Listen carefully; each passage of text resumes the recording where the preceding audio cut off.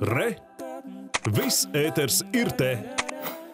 Latvijas pensionāru federācija vēstulē amatpersonām pauž satraukumu par citēju neapskaužamo un skaudro situāciju valsts vecuma un invaliditātes pensiju, kā arī par valsts sociālā apdrošinājuma pabalstu saņēmēju dzīves apstākļiem laikā, kad palielinās cenas dažādiem pārtiks produktiem, kā arī pirmās nepieciešamības precēm un pakalpojumiem. Un šorīt esam sazvanījušies ar Latvijas pensionāru federācijas priekšsēdētāju Aju Barču. Labrīt! Labrīt! Labrīt! Sarunas iesākumā noteikti lūksim jums ieskatīt tādu kopējo situāciju, cik pat labam grūta, skaudra situācija varētu ir, ir senioriem kontekstā tieši ar pieaugušajām cenām, gan precēm, gan dažādiem pakalpojumiem. Ja mēs zinām, ka vidējā pensija Latvijā ir tikai nedaudz pāri 400, tas nozīmē, ka ļoti, ļoti daudz senioru saņem nelielu pensiju. Un nekādā gadījumā man negribētos analizēt šodien, kāda, kādēļ tās pensijas ir tik uh, nelielas, bet nu, vētra tik liela, kāda pašreiz plosās Latvijā, tāda, manuprāt, plosās arī uh, mūsu pakalpojumu cenās, uh, pārtikas cenās, arī zāles paliek daudz dārgākas.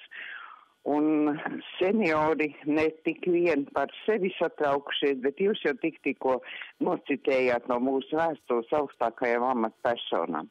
Un tādēļ mēs domājam, ka ir pēdējais laiks mūsu augstākajām amatpersonām, taiskaitā Latvijas valsts prezidentam, kur mēs savu laiku bijām uh, vizītē, un viņš deva mums solījumu, ka uh, lūk, šīs sociālās grupas, par kurām mēs pašreiz runājam, uh, būs viena no viņa prioritātēm, tāpat arī gan saima un eh, ievēlētie deputāti, ministru prezidents un uh, viņa vadībā strādājošie ministri. Es domāju, ka uh, mēs esam pelnījuši, lai vadība, mūsu valsts vadība ļoti strauji par to padomā. Mēs esam izteikuši arī savu priekšlikumu un esmu informēta, ka pašreiz tiek notiek šīs sarunas un redzēsim, kāds būs rezultāts. Bet atbalsts ir vajadzīgs to rīt un steidzami, jo redziet, seniori un invalīdi tie mums ir cilvēki Latvijā, kuri vispirms skatīsies un centīsies nomaksāt savus rēķinus. Barčs un tikai kundze, pēc tam. Es atvainojos. Barčs kundze, pensionāri prasa 200 eiro pabalstu um, Tā mēs senioriem. sakām vispirms. Jā. Mēs redzam, ka tādas īstas virzības šim jautājumam no, no politiķu puses nav. Kā jūs pat labi redzat šo komunikāciju ar atbildīgajām ministrijām, ar politiķiem? Vai ir reāla cerība, ka šis atbalsts senioriem varētu tikt piešķirts? Es domāju, ka atbalsts noteikti būs, bet es neesmu pārliecināta, vai tie būs 200 eiro vai vairāk vai, vai mazāk. Jo, redziet, nu nevienam taču nav noslēpums, ka mēs gatavojamies arī nākošajām parlamenta 14. sasaukuma vēlēšanām. Nu, oktobra pirmā sestdiena vairs nav tālu. Jā, tā gan, protams, mēs sakosim līdzi, kā atbildīgās ministrijas reaģē uz šo aicinājumu un kā risina šo situāciju. Mēs sarunas noslēgumā vēlamies jums pajautāt arī par citu tematu. Mēs šobrīd redzam, ka mūsu valstī diezgan liels tūkstošu skaits nav senioru tieši vakcinēti pret Covid-19 pirmreizēji. Kas ir tas, ko Latvijas pensionāru federācija dara? Kā skaidro senioriem, pensionāriem vakcinācijas nepieciešamību nozīmi? Mūsdienu apstākļos, kad mēs nevaram pulcēties uh, uh, gan savās uh, tādās lielākās sanāksmēs, mūsu pamata informators ir laikraksts Latvijas pensionārs.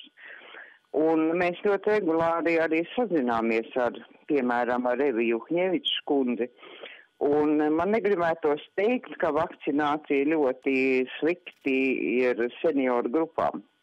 Domāju, ka nē ja pašreiz, piemēram, pirmā vakcīna uh, personām 60 plus ir vairāk nekā 81%, nu, domāju, ka tas nemaz nav tik uh, slikti. Un, un valsts vakcīna uh, jau un nu, uz vakardienas rītu. Uh, ļoti laba ir personām no 60 līdz 79 gadiem. Tā man vismaz vakar sarunā apgalvoja Eva Juhņeviča. Uh, Nu, sliktāka situācija, protams, ir uh, cilvēkiem, kuri nodzīvojuši 90 un vairāk gadus. Tur vakcīnas aptvere ir nu, gandrīz 58%, 57,97%. Bet te jau ir pavisam cita lieta, jo es domāju, ka seniori, kuri ir 80 plus, ir pelnījuši, lai tie viņiem dotos mājās un viņus vakcinētu dzīves vietā. Pēdējā laikā tas jau sāk notikt. Varbūt kļūda bija tā, ka pašā sākumā vai arī pagājušajā gadā visu gadu par to netapa domāts. Mēs savus priekšlikumus esam izteikuši par vakcināciju ne tik vien Eva Juhņēviča, bet arī gan savulaik veselības ministram un vairākas lietas, kuras mēs lūdzām pārskatīt un darīt, tas jau šodien darbojas. Bet jautājumu par vakcinēšanos jā vai nē jāpieņem pašam cilvēkam.